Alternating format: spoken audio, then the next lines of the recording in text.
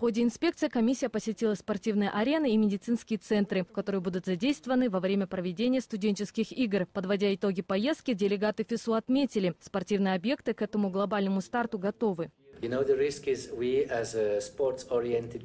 Мы увидели все объекты, которые планируются для использования на универсиаде. По объектам, которые использовались во время Азиады 2011 года, могу сказать, что остались ими довольны. Они высокого уровня. Но им требуется некоторая доработка и модернизация. Особо хочу отметить комплекс лыжных трамплинов. Он у вас очень высокого уровня. А также его близкая расположенность к центру города делает его особенным.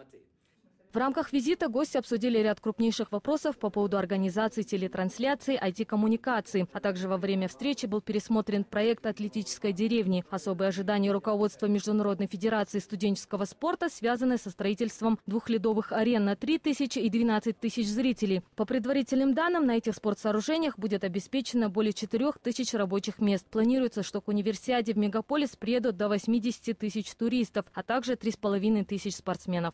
Делая проект э, универсиады, мы не делаем этот проект исключительно к, дан, к данному международному чемпионату, этому, да, этим э, играм. Мы делаем это в целом для города, мы делаем это для будущего города, для развития инфраструктуры, э, и что очень немаловажно в целом для имиджа всей страны. Это только первый этап подготовки к универсиаде, и для успешной организации в первую очередь нужно обучить еще больше спортивных менеджеров, считают эксперты. А уже в декабре этого года в нашем городе состоятся первые тестовые соревнования по нескольким видам спорта. Айжан Курмашева, Талап Сагимбаев, телеканал Алматы.